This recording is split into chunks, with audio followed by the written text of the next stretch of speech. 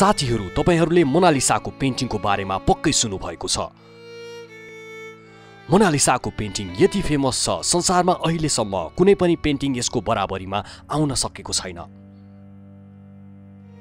यो जति फेमस छ त्यति नै रहस्यमय पनि छ। यो पेन्टिङको सबैभन्दा महत्त्वपूर्ण रहस्य यसको मुस्कानलाई मान्ने गरिन्छ। किनभने फरक फरक एङ्गलबाट हेर्दा त्यो मुस्कानलाई फरक फरक देखिन्छ। साथीहरू यो पोर्ट्रेटसँग जोडिएका यस्ता रहस्यहरू छन् जसको जवाफ आजसम्म वैज्ञानिकहरूले पनि खोज्न सकेका छैनन्।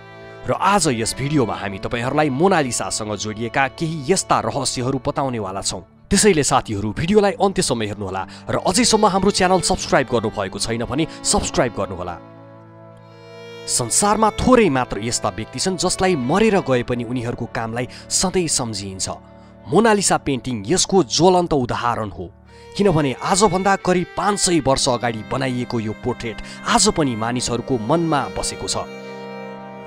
र यस मास्टरपिसकै कारण आज पनि यो पोर्ट्रेट बनाउने महान कलाकार लियोनार्दो दा भिन्सीलाई हामी याद गर्छौँ। लियोनार्दो दा भिन्सीद्वारा बनाइएको यो पेन्टिङ फ्रान्सको लुभेरे म्युजियममा राखिएको छ। र संसारका लाखौँ मान्छे हरेक वर्ष म्युजियममा यो पेन्टिङ हेर्न आउने गरेका छन्। मोनालिसा पेन्टिङको मूल्य थाहा पाउँदा तपाईँहरू सक्ड हुन सक्नुहुन्छ। यसको मूल्य नेपाली रुपियाँमा दस हजार सोह्र करोड हुन जान्छ। त्यसै कारण यसलाई विश्वकै सबैभन्दा महँगो पेन्टिङ भनेर पनि चिनिन्छ। थुप्रै रहस्यकै कारण फेमस भएको यो पेन्टिङ बनाउने महान कलाकार लियोनार्दो दा भिन्सीका बारेमा पनि केही कुरा जानौँ। किनभने यी कलाकार आफैमा एउटा रहस्य थिए। साथीहरू लियोनार्दो दा भिन्सीको जन्म पन्ध्र अप्रिल चौध सय बाहन्नमा इटालीको फ्लोरेन्समा आन्सियानो भिन्सी भन्ने गाउँमा भएको थियो। त्यसै कारण उनको नामको पछाडि भिन्सी जोडिएको थियो। लियोनार्दो दा भिन्सी तत्कालीन समयका चर्चित चित्रकार आर्किटेक्ट म्युजिसियन मेकानिकल इन्जिनियर र साइन्टिस्ट थिए। साथीहरू एउटै मान्छेभित्र यति धेरै ट्यालेन्ट हुन सक्नु पनि आफैमा एउटा रहस्य हो। दा भिन्सी आफ्नो सबै प्रतिभाका मास्टर मानिन्थे त्यसै कारण आज पनि उनलाई र उनको ट्यालेन्टलाई सबैले उदाहरणको रूपमा लिन्छन्।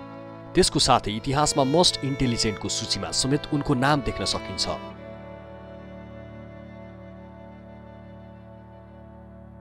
साथीहरू डाभिन्सी यतिसम्म ट्यालेन्टेड थिए कि उनी एक हातले लेख्ने र अर्को हातले पेन्टिङ गर्न सक्थे। साथीहरू अब कुरा गरौँ मोनालिसाको। डाभिन्सीले यो पेन्टिङ पन्ध्र सय तिनबाट बनाउन सुरु गरेका थिए तर दुई मे पन्ध्र सय उन्नाइसमा यो पेन्टिङलाई कम्प्लिट रूप नै नदिई एकाउन्न वर्षको उमेरमा उनले धरती छोडे। यो कुरा धेरै कमलाई मात्र थाहा छ कि मोनालिसाको त्यो पेन्टिङ आज पनि अधुरो नै छ।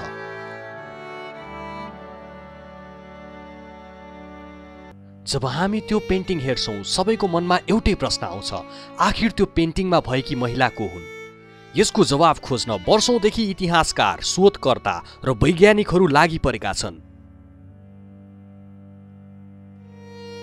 तर आजसम्म पनि पेन्टिङमा भएकी महिला को हुन् भन्ने कुरा ठोस रूपमा पहिचान हुन सकेको छैन।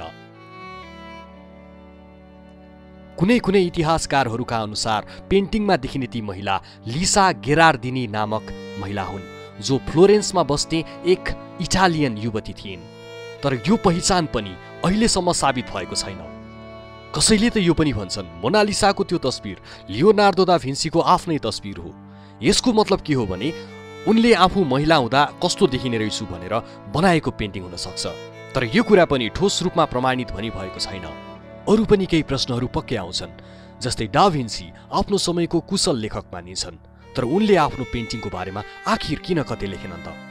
यति मात्रै होइन इटालीमा जन्मिएका डाभिन्सी तर उनको पेन्टिङ इटालीमा नभई किन फ्रान्समा राखिएको होला? इतिहास पल्टाउँदा सन् पन्ध्र सय सोह्रमा फ्रान्सका राजा किङ फ्रान्सिस वानको निम्तोमा डाभिन्सी इटालीबाट फ्रान्स आएका थिए। भनिन्छ डाभिन्सी त्यति बेला मोनालिसाको पेन्टिङमा व्यस्त थिए। राजाको निम्तो अस्वीकार गर्न नसकेपछि उनी बन्दै गरेको पेन्टिङलाई साथमै लिएर फ्रान्स गए। त्यस पश्चात सन् पन्ध्र सय उन्नाइससम्म आफ्नो मृत्यु नहुन्जेल फ्रान्समै बसेर यो पेन्टिङमा काम गरेका थिए र उनको मृत्युपछि त्यो पेन्टिङ उनको एक सलाई नाम गरेको स्टुडेन्टलाई जिम्मा लगाइयो। फ्रान्सको राजा किङ फ्रान्सिसलाई यो पेन्टिङ पहिलो दिन देखेदेखि नै मन परेको थियो। फ्रान्सको राजा किङ फ्रान्सिस यो पेन्टिङ हासिल गर्न लालाहित थिए। त्यसैले उनले चार हजार सुनको असर फिदिएर सलाईबाट त्यो पेन्टिङ लिएरै छोडे। किङ फ्रान्सिसले यो मास्टरपिस आफ्नो दरबारभित्र राखेका थिए र यसरी यो पेन्टिङ फ्रान्सको राजाहरूको प्राइभेट कलेक्सनको एक हिस्सा बन्न पुग्यो। फरक फरक राजाले यो पेन्टिङलाई फरक फरक ठाउँमा राखेका थिए। भनिन्छ यो पेन्टिङ नेपोलियन बोनापार्टलाई पनि यति मन परेको थियो कि उनले यसलाई आफ्नो बेडरुममै लगाएका थिए। सन् सत्र सय उनान्सयमा फ्रेन्च रिभोल्युसनको अन्त्यसँगै यो पेन्टिङलाई लुभेरे म्युजियममा राखिएको थियो। त्यसपछि आजसम्म यो पेन्टिङ सोही म्युजियममा सुरक्षित छ। यो पेन्टिङको आकारको कुरा गर्ने हो भने यसको लम्बाइ तिस इन्च र चौडाइ एक्काइस इन्च छ। साथै यसको वेट आठ केजी रहेको छ। आठ केजीको पेन्टिङ अचम्म पर्नुभयो होला होइन साथीहरू? तर डाभिन्सीले यो पेन्टिङ कुनै पेपर वा क्यानभासमा नभई काठको एउटा टुक्रामा बनाएका थिए। साथीहरू उनले यो पेन्टिङ बनाउँदा ओइल पेन्टको तिसभन्दा बढी लेयरमा खेलेका थिए। तपाईँहरूलाई पथ्यार नलाग्न सक्छ तर कुनै लेयर त हाम्रो कपालभन्दा बाक्लो थिए। हुन त यो पेन्टिङ सुरुवातबाटै चर्चामा थियो तर यसको असली पपुलारिटी तब बढ्यो जब यसलाई म्युजियमबाट चोरियो। फ्रान्सको लुभेरे म्युजियममा यो चोरी एक्काइस अगस्त उन्नाइस सय एघारमा भएको थियो। विश्वको सबैभन्दा ठुलो म्युजियमबाट विश्वको सबैभन्दा महँगो पेन्टिङ चोरी हुनुले सारा संसार तरङ्गित थियो। चोरी कसले गर्यो भन्ने कुरामा सबै अनभिज्ञ थिए।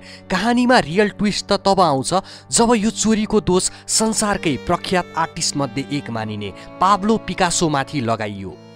पिकासोलाई हिरासतमा राखेर लामो समय सोधपुछको क्रम चल्यो तर कुनै ठोस प्रमाण नभेटिएका कारण उनीमाथि लागेको चोरीको आरोप हटाइयो।